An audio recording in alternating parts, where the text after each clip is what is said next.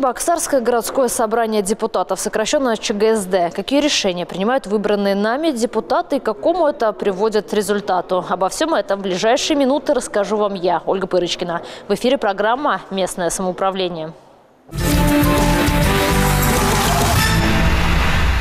Формирование комфортной городской среды. Как идет ремонт дворовых территорий, по этой программе проверили городские депутаты.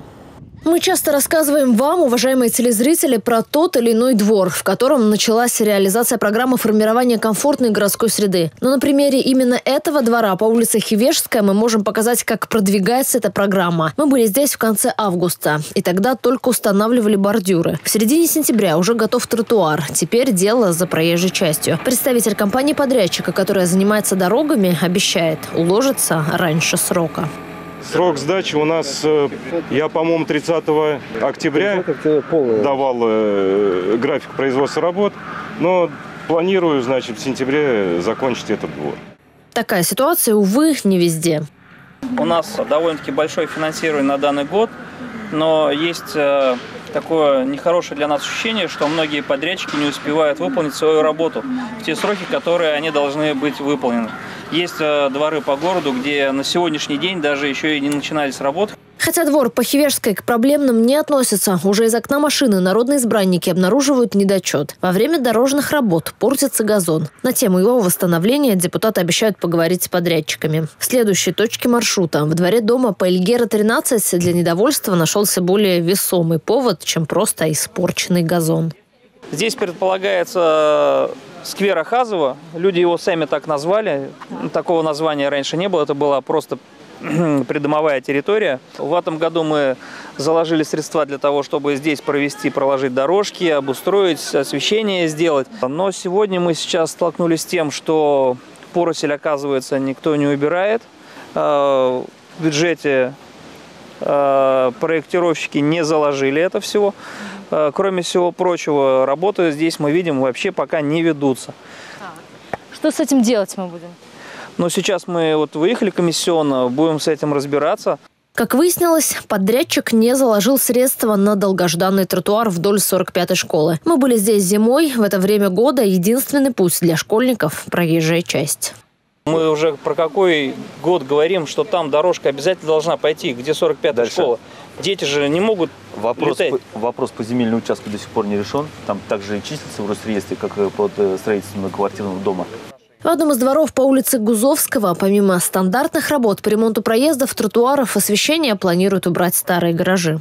Гаражи у нас администрация Московского района вот только что в глава доложил. А, работа ведется, то есть ищет собственников.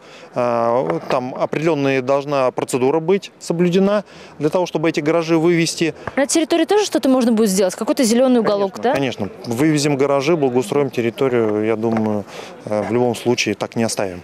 За этот рейд у депутатов накопилось много информации для размышления. Что сделать с выявленными недостатками, будут решать на заседаниях профильной комиссии.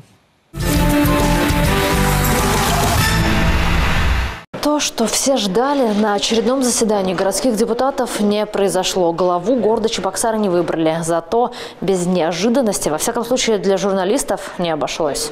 Но обо всем по порядку. Первым в повестке дня стал вопрос об изменениях в устав города. Раньше народные избранники должны были в течение двух месяцев выбрать нового городоначальника после сложения полномочий старого. Теперь на это у них полгода, из которых, впрочем, осталось около четырех месяцев.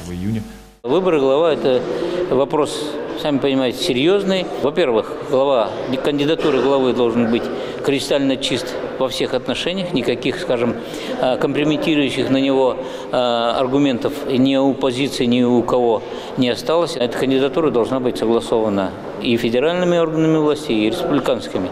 То есть этот э, процесс, скажем, так быстро не делается. Как вы думаете, сколько еще теперь город Чебоксар будет без головы? Вот по вашим прогнозам. Еще неделю.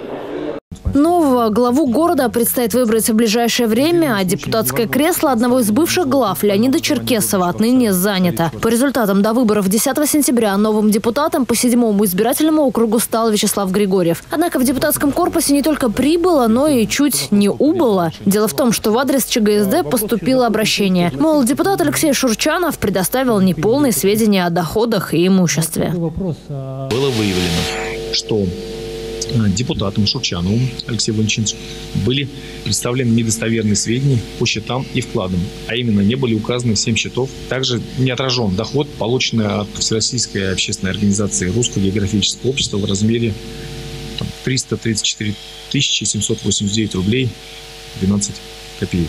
За такое народному избраннику грозит досрочное прекращение полномочий. Однако депутаты решили, что вопрос нужно тщательно изучить. За лишение Шурчанова полномочий проголосовали только двое, еще двое воздержались. В этот раз депутатские ряды никто не покинул.